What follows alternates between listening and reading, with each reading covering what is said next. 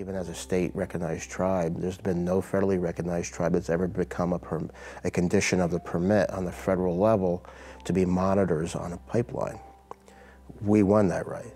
You know, we had the pipeline stopped. Um, my name is Chief Vincent Mann. I am the Turtle Clan Chief of the Ramapough Lenape Nation. What I'm doing right now is I'm actively taking a larger role at the CAG, which is a citizens uh, advisory group, um, where the EPA is supposed to come in and give us information in a way that we could all understand it. We're making strides to protect the water, uh, protect ourselves.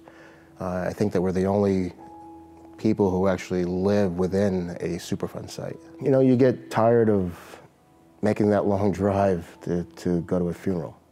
I felt compelled um, and I have to say that it was because of the Creator, you know, showing me, you know, that I needed to come back home.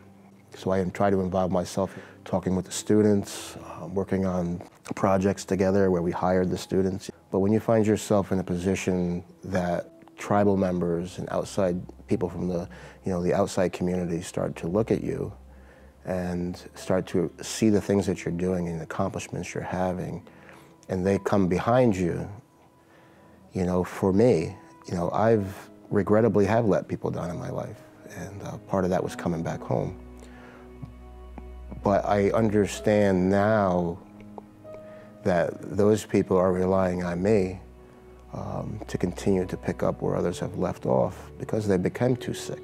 So I don't do it out of selfishness that I would tend to step up and continue going to help you.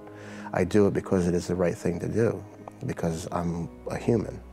I think it's up to us as humans to pass that on to other humans and other people who have had bad experiences in their life to, to try to help them to see the good in the world or that they can make that difference.